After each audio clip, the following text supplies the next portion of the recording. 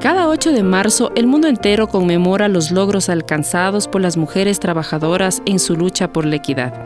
En este día, mujeres de diferentes edades, culturas, condiciones sociales y políticas, rendimos homenaje a nuestras antecesoras por su valentía y tenacidad al abrirse paso en un mundo pensado solo para hombres. ¿Cómo podríamos olvidar a la libertadora Manuela Sáenz, a la pensadora Marieta de Ventimilla, a la escritora y política Nela Martínez, a la insumisa Ana de Peralta?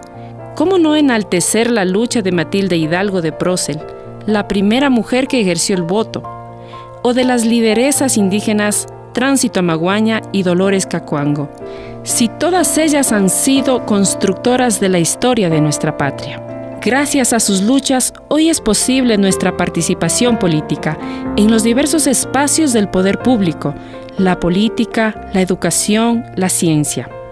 Y aunque todavía falta mucho para superar la discriminación, el sexismo y la violencia, hemos alcanzado logros importantes como el Código Integral Penal, que tipifica la violencia intrafamiliar como un delito y sanciona las agresiones contra la integridad física, psicológica y sexual de las mujeres. También logramos la aprobación de la Ley de la Justicia Laboral, que reconoce el trabajo no remunerado del hogar, y de la Ley Orgánica del Consejo Nacional para la Igualdad.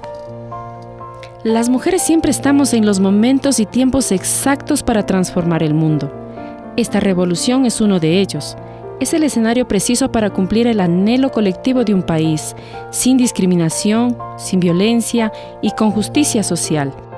Feliz día, mujeres. Sigamos luchando por nuestros derechos, sigamos cambiando la patria.